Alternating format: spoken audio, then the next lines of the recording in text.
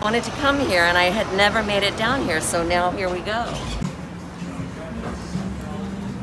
Tinker Street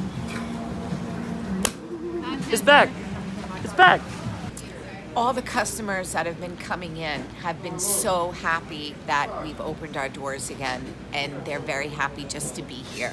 So everyone's been really nice.